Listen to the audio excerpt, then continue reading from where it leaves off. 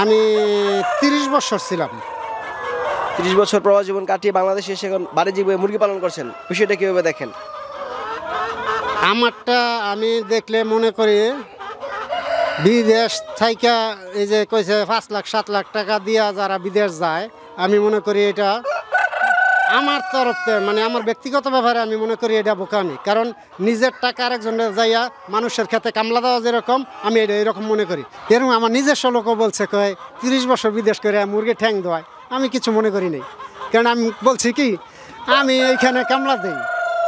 যখন পাঁচ লাখ টাকা দিয়ে গিয়ে আমি আরেকজনের কামলা দিব এটা সে ভালো না, আমি আমার ঘরে কামলা দিতেছি। আমি একটা কথা চিন্তা করি, আমি কোনো দুই নম্বরই করতে রাজি না। কারণ এইখানে আমি দুই নম্বরই করে পয়সা কামাই করে থুয়ে যাইমু, কালকে মরে যাইমু, এটার হিসাব আমার দিতে হইব, কবরের কাছে। আমি দুই নম্বরই করে পয়সা ফলা ফান্ডে দিয়ে যাইতে আমি রাজি না। সুপ্রিয় দর্শক, আসসালামু আলাইকুম। আপনাদেরকে স্বাগত জানাচ্ছি নতুন একটি প্রতিবেদনে। দর্শক বন্ধুরা, আজকে আমরা চলে এসেছি গাজীপুর জেলা, কালীগঞ্জ থানা, জাঙ্গালিয়া ইউনিয়ন পুনশই গ্রামে। আমরা এই মুহূর্তে আছি একটি বাণিজ্যিক টাইগার মুরগি খামারে। এই খামারের উদ্যোক্তা হচ্ছেন মুজিবুর আঙ্কেল। তিনি দীর্ঘ তিরিশ বছর প্রবাস জীবন কাটিয়ে বাংলাদেশে এসে এখন বাণিজ্যিকভাবে এই টাইগার মুরগি পালন করছেন। তিনি প্রথমত মাত্র তিনশো পঞ্চাশটি মুরগি দিয়ে খামারের পচলা শুরু হলেও তার এখানে প্রায় এক হাজারেরও বেশি প্যারেন্টস রয়েছে। যেখান থেকে প্রতিনিয়ত ডিম পাচ্ছে এবং সেই ডিম থেকে বাচ্চা ফুটিয়ে তিনি বিক্রি করছেন। আজকের এই পর্বে আমরা আপনাদেরকে দেখানোর চেষ্টা করব সেই উদ্যোক্তা মজিবুর আঙ্কেলের টাইগার মুরগি পালনের সফলতার গল্প। আশা করছি পুরো আয়োজন জুড়ে পাশে থাকবেন। আসসালামু আলাইকুম মজিবুর আঙ্কেল।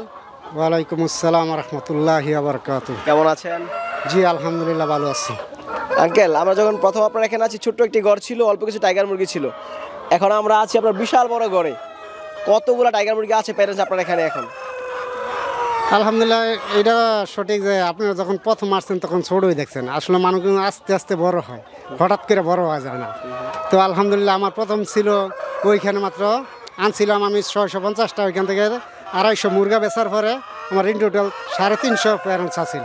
আর এখন আমার আমি এগুলো আমার এই মুরগির বাচ্চা দিয়ে আমি নিজে বাছাই করে আমি এইখানে অনেক সাতশো প্যারেন্টস আছে আমার অলরেডি ওইখানে আমি অলরেডি ডিম পাড়া শুরু হয়ে গেছে। নতুন প্যারেন্টস জি আলহামদুলিল্লাহ। পুরাতন প্যারেন্টস তো আছে।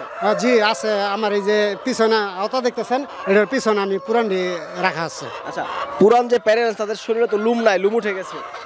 এইটা কত মাস বয়স চলছে এইটা তো প্রায় সত আঠারো মাসের মতন হয়ে গেছে কারণ মানুষ বুড়ো হয়ে গেল তো আমরা লুচ হয়ে যায় গা। আঠারো মাস হয়ে গেছে? সতেরো আঠারো মাস উনিশ মাস হয়ে গেছে আমার এগুলো। ডিম পাচ্ছেন এখান থেকে? না আলহামদুলিল্লাহ আমি এর আগে একটু কমে গেছিল তখন চিন্তা ভাবনা করছিলাম কই ছেড়ে দেবো।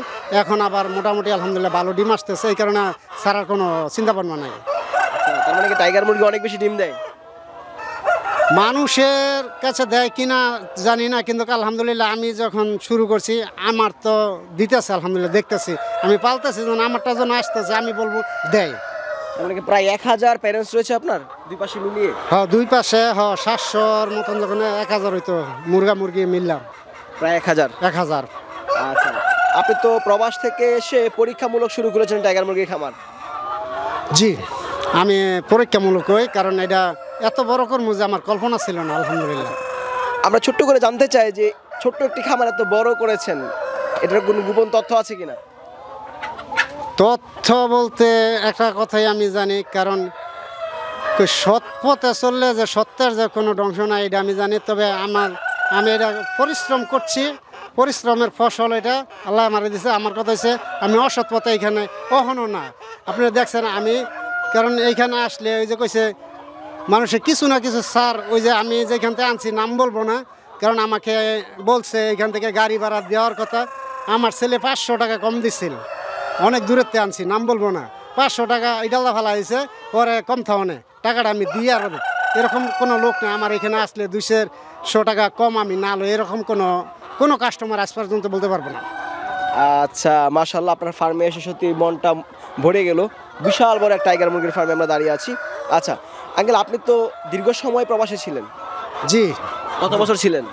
আমি তিরিশ বছর ছিলাম। তিরিশ বছর প্রবাস জীবন কাটিয়ে বাংলাদেশে এসে এখন বাণিজ্যিকভাবে মুরগি পালন করছেন। বিষয়টা কীভাবে দেখেন? আমারটা আমি দেখলে মনে করি বিদেশ থাইকা এই যে কইছে পাঁচ লাখ, সাত লাখ টাকা দিয়া যারা বিদেশ যায়, আমি মনে করি এটা আমার তরফ মানে আমার ব্যক্তিগত ব্যাপারে আমি মনে করি এটা বোকামি। কারণ নিজের টাকা আরেকজনের যাইয়া মানুষের ক্ষেত্রে কামলা দেওয়া যেরকম, আমি এটা এরকম মনে করি। আমি পাঁচ লাখ টাকা ইনভেস্ট আমি যদি আমি দেশে করতে পারি, আমি বিদেশে টাকা আমি ঘরে বৈশাখ কামাই করতে পারি। কারণ এর বাদে থাকবে আমার বউ, বাচ্চা, মা, বাপ সব সামনে আমার থাকব। যতটুকু আসে তাতে আমি সন্তুষ্ট। আচ্ছা। আপনার এখানে প্রায় এক হাজারেরও বেশি টাইগার মুরগি রয়েছে। প্রতিদিন কি পরিমাণ ডিম পান? আলহামদুলিল্লাহ আমার এটা নতুন প্যারেন্টস এই সাইডের যেটা দেখতেছেন এইখান থেকে আমি প্রতিদিন দেড়শো থেকে পনেরো দুশো ডিম আমার আসে এইখানে। আর ওইখানে যেটা পুরান আপনার ওই সাইডে যেটা দেখছেন আগে যখন আসছিলেন যেটা দেখছেন ওইটাতে আমার আছে দেড়শো পনেরো দুশো এরকম আসে। প্রতিদিন প্রায় চারশো ডিম পান? হ্যাঁ চারশো পনেরো চারশো এরকম ডিম আমার আসে। যদি এগুলা পরিপূর্ণ ডিমে চলে আসে তাহলে কতগুলা ডিম পাওয়া সম্ভব হবে? এইখানে পরিপূর্ণ ডিম আসা শুরু হয়ে গেলে পাঁচ পাঁচশো সাড়ে পাঁচশো এরকম হইতে পারে।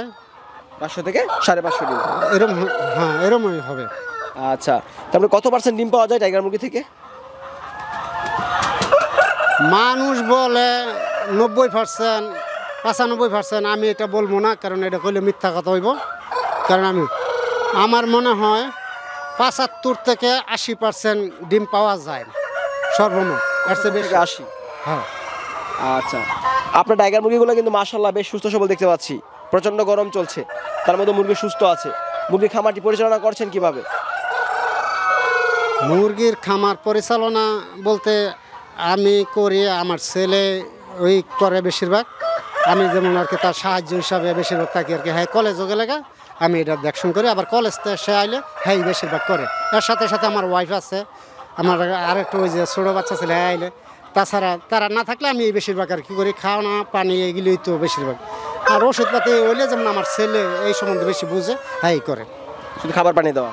খাবার পানি এগুলো আমি দিতে পারি আলহামদুলিল্লাহ মানুষ লাগে না। আচ্ছা দৈনিক কত গ্রাম খাবার দিতে দিতে হয় এক একটা মুরগির জন্য? একশো দশ গ্রাম বা বিশ গ্রাম হইলে সবচেয়ে ভালো হয় কারণ মুরগিটা তো একটু বড় কারণ খাবারটা একটু বেশি লাগে। কারণ লেগে একশো বিশ গ্রাম হইলে সবচেয়ে সুন্দর হয়। গরমকালে কোনো সমস্যা হচ্ছে কিনা এই টাইগার মুরগিতে? জি। কি সমস্যা হচ্ছে? গরমকালে এই মুরগির গরমটা সহ্য কম হয়। কারণ এই জন্য এই মুরগি পুরো গরমের সময় ফ্যানের দরকার যারাই করুক এইটাতে বাঁচতে হবে ফ্যান লাগাইতে হবে। আর উপরে যে আমি তো ই দিতে পারছি না দাড়ি দেওয়ার বা ফঞ্চ দেওয়া। আমার উপরে দেখবেন ই জর্না দেওয়া আছে। পানি দেওয়া আছে পানি পানির লাইন দেওয়া আছে। কারণ আমার কয়েকটা মুরগি মারা গেছে পরে আমার মাথায় ধরছে আমি এক ইয়ে দেখছিলাম আমি যখন বাইরে ছিলাম তখন ওই ই দিলে পানি বৃষ্টির মতন পরে। আমি ছেলের এটা কোয়ার সাথে সাথে হাই হওয়া এইভাবে করম যাইব। তখন ওরা আমার টিনের চালের পে একটা ঝর্ণা বসা দিছে পানির লাইন দিয়ে দিলে কতক্ষণে ঠান্ডা হয়ে যায় এ কথাটা কিন্তু সবাই বলে না যে গরমকালে মুরগি স্টক করে বা গরমকালে সমস্যা হয় এটা কিন্তু সবাই বলে না। সবাই বলে যায় গরমকালে কোনো সমস্যা হয় না। আমি এটা বলব এটা মিথ্যা কথা। কারণ টাইগার মুরগি এটা বড় মুরগি কারণ এটা কারণ সমস্যা একটা সুস্থ সবল মানুষ হাইডা যাইতেছে সেও অ্যাক্সিডেন্ট করতে পারে। আর এটা তো একটা জানোয়ার ওই। কারণ আমাদের যেরকম গরম আছে এই মুরগিটারও তেমন একটা গরম আছে। কারণ এই জন্য দেখেন আপনি কতটি ফ্যান লাগাইছি আমি। ফ্যান দেওয়া আছে। আমি ফ্যান দিয়ে রাখছি কি গরমের সমস্যা না হলে কি আর আমি ফ্যানগুলো দিয়ে রাখছি? অবশ্যই সমস্যা আছে। কারণ যারা করব আমি মনে করি তারা এটা আগের থেকে সচেতন হইতে হবে আমি গত বছর আমার অনেক মুরগি মারা গেছে আমি জানছি না। কিন্তু আমি আমার কাছ থেকে যারা বাচ্চা নেয় আমি প্রথমেই বলি আপনারা আগে নিজে সচেতন হন সচেতন হয়ে আপনারা ফার্ম করবেন। কারণ এই গরমকালে আপনাকে ফ্যান লাগবোই লাগবো। এটা ছাড়া আপনারা আয় করতেন তাহলে আপনার মুরগি মারা যাবে আপনার ক্ষতির মুখে পড়বেন। একটি ফার্ম করার জন্য আর কোন কোন দিক আমাদের লক্ষ্য রাখা উচিত? আপনার ফার্ম করার দিকে আপনার সবচেয়ে বেশি লক্ষ্য রাখা উচিত ফার্মের ভিতরে যে ময়লাটা এই ময়লাটা সবসময় পরিষ্কার রাখতে হবে যাতে গ্যাস না হয়। পায়খানা। পায়খানা এই মুরগির পায়খানাটা পরিষ্কার রাখবে যেমন আমরা পনেরো দিন ষোলো দিন সতেরো দিন বা আঠারো দিন এর ভিতরে আমরা পরিষ্কার গেলে যখন এটাতে আপনার গ্যাস হইব তখন গ্যাস হইলে মুরগি দেখবেন চোখ মুখ ফুলা যায় চোখ কানা হয়ে যায় ভিতরে গ্যাস হয়ে যায়। কারণ আর যদি জিনিসটা যদি পরিষ্কার থাকে তাহলে মুরগি থাকবে আপনার সচ্ছল সুস্থ পরিষ্কার কথা। আপনার ফার্ম পরিষ্কার আপনার ফার্ম এ খামার পরিষ্কার সুস্থতা আছে সব আছে ঠিক আছে। আচ্ছা। বীজ আছে না থাকে। আচ্ছা। কি কি ভ্যাকসিন করেছেন এই মুরগিতে? আমার এখানে ষোলোটা ভ্যাকসিন আমি তো পুরা ভ্যাকসিনের নাম জানি না। তো আমি পুরাটা ষোলোটা ভ্যাকসিন ধরে আমি পুরা কোর্স করছি আমি। ভ্যাকসিন করাটা কতটুকু জরুরি? হ্যাঁ এটা জরুরি কারণ একটা জিনিস করতে গেলে আপনি লক্ষ লক্ষ টাকা ইনভেস্ট করবেন। আপনি এই অল্প ওই যে কইছে দুইশো বিশ চল্লিশ হাজার টাকা লাগে আপনি করতেন না এটা আমি ই দিতাম না গ্রহণযোগ্য না। কারণ আপনি করতে গেলে আপনি বিশ চল্লিশ হাজার টাকা আপনি খরচ করেন খরচ- খরচ করলে আপনি নিরাপত্তা বেশি। আপনি যখন ফার্ম শুরু করেন কত টাকা পুঁজি বিনিয়োগ করেছিলেন এই ফার্মে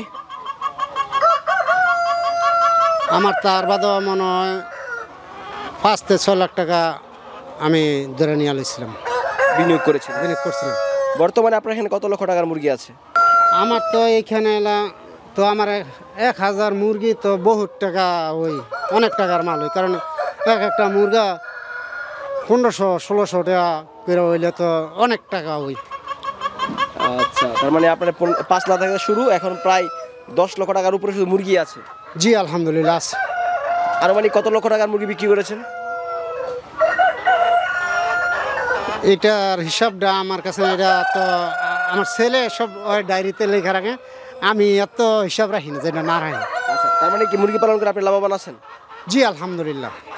টাইগার মুরগিতে লাভ হয় সবাই বলে। লস কি হয় না? অবশ্যই লস হইব কারণ ওই যে কইছে আপনার যদি পরিচর্যা ঠিক না থাকে খালি যে লাভ হইব এরকম কথা না। কারণ লাভ লস মিলাই আছে। কারণ এর আগে আমার এর আগে আমার আমি আরেকটা সেট লইছিলাম। ওইখানে আমার চারশো মুরগি মারা গেছে। এই সেট স্যার আমি আরেকটা সেট লইছিলাম ওইখানে আমার চারশো মুরগি মারা গেছে। আমার মিথ্যা কথা বলে লাভ আছে। লস হয় না কেমনে? হয় যেটা যদি আমার পরিচর্যা ঠিক না থাকে রোগ হইয়া গেলে বালা মানুষের রোগ হয় না? ওইখানে। তো এর বাদে আমার তো যাক আল্লাহ বাঁচাইছে আমার এইখানে কোনো সমস্যা হয়নি? সমস্যা হয়নি। আচ্ছা, অনেক বাচ্চা রয়েছে দেখতে পাচ্ছি আমরা এই পাশে। কত হাজার বাচ্চা আছে এখানে?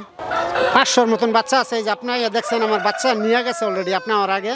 আমার দুইজন আয়া নিয়ে গেছে হেরা বোর্ডিং করা বাচ্চা নিয়ে আছে একশো বিশ টাকাতে দিরা এর বাদে সার দিয়ে একশো দশটাও ছেড়ে দিছে আমার কোনো এর কোনো এই নেই মহিলারা বাচ্চা একশো দশ টাকা?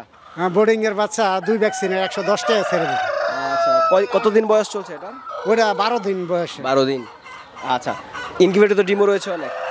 হ্যাঁ ইনকিউবেটার ডিম আছে হেসারে বাচ্চা আছে সবই আপনার দেখাই মনে। আচ্ছা ইনকিউবেটর ডিম আছে কতগুলা? এইটার মধ্যে চোদ্দোশো ডিমে মনে হয় তাও মনে হয় হাজার হাজারের মতন আছে। এক হাজারের মতন আছে। এগুলো সামনে সপ্তাহে নামবে। আর পাশেরটা? পাশেরটা এটাতে যে বাচ্চা নামাইছি আজকে হেসারের মধ্যে বাচ্চা এ ডিম আছে এক হাজারের বাচ্চা ফুটতেছে অলরেডি বাচ্চা ফুটে বের হয়ে যাচ্ছে। বের হইতে মাসে কত হাজার ডিম বিক্রি করতে পারেন বা বাচ্চা বিক্রি করতে পারেন? আমার প্রত্যেক মাসে বাচ্চা ডিমে দুইতে তিন হাজার আমি বিক্রি করি তিন হাজারের মতন। তিন হাজার মতো বিক্রি করেন? জি। বাকি যে ডিমগুলো হয় এগুলা কি বিক্রি করে দেন শুধু? জি হেগুলা হেগিলা হেগিলাইনার আলাদা লোক আছে নিয়ে যায়। খাবারের জন্য কি বিক্রি করা হয়? এমনি বাড়িতে টুকটাক ছোটো ডিমগুলা? ছোট ডিমগুলা। আচ্ছা। আপনি তো তিরিশ বছর প্রবাসে ছিলেন এখন বাংলাদেশে এসে টাইগার মুরগি পালন করছেন। অনেকে কিন্তু অনেক বাজে মন্তব্য করেছিল আপনাকে। হ্যাঁ করছে। আমি তাতে কেউ সারা দেয় নাই তো। এরকম আমার নিজস্ব লোকও বলছে কয় তিরিশ বছর বিদেশ করে মুরগি ঠ্যাং দেওয়ায় আমি কিছু মনে করি নাই। কারণ আমি বলছি কি আমি এইখানে কামলা দিই। যখন পাঁচ লাখ টাকা দিয়ে গিয়ে আমি আরেকজনের কামলা দিব এটা আর সে বলা না আমি আমার ঘরে কামলা দিতেছি। বউ বাচ্চা ফলামান সব আছে সামনে তো আমি হেন গিয়ে কামলা দেওয়ার দরকার কি? আমারটা আমি নিজে করে খাইতেছি। নিজের কাজে কোনো লজ্জা নেই? আমার কোনো লজ্জা নেই আচ্ছা দর্শক আমরা কথা বলছিলাম মজিবুর আঙ্কেলের সাথে। তিনি কিন্তু দীর্ঘ তিরিশ বছর প্রবাস জীবন কাটিয়ে বাংলাদেশে এখন মুরগি পালন করছেন এবং তিনি টাইগার মুরগি পালন করে একজন সফল উদ্যোক্তা। তার এখানে প্রায় এক হাজারের বেশি প্যারেন্টস রয়েছে। মাত্র তিনশো থেকে সাড়ে তিনশো মুরগি দিয়ে খামার যাত্রা শুরু হয়েছিল। প্রতি মাসে প্রায় তিন হাজারের বেশি বাচ্চা বিক্রি করছেন। আঙ্কেল, যদি কেউ বাচ্চা সংগ্রহ করে, অবশ্যই ভালো মানের বাচ্চা দিবেন। আমি একটা কথা চিন্তা করি। আমি কোনো দুই নম্বরই করতে রাজি না। কারণ এইখানে আমি দুই নম্বরে করে পয়সা কামাই করে থুয়ে যাইমু কালকে মরে যাইমু এটার হিসাব আমার দিতে হইব কবরের কাছে। আমি দুই নম্বরে করে পয়সা বলা ভান্ডে দিয়া যাইতে আমি রাজি না। ঠিক আছে আপনাকে অসংখ্য ধন্যবাদ সময় দেওয়ার জন্য। ভালো থাকেন আসসালামু আলাইকুম। ওয়ালাইকুম আসসালাম রহমতুল্লাহ বরকাত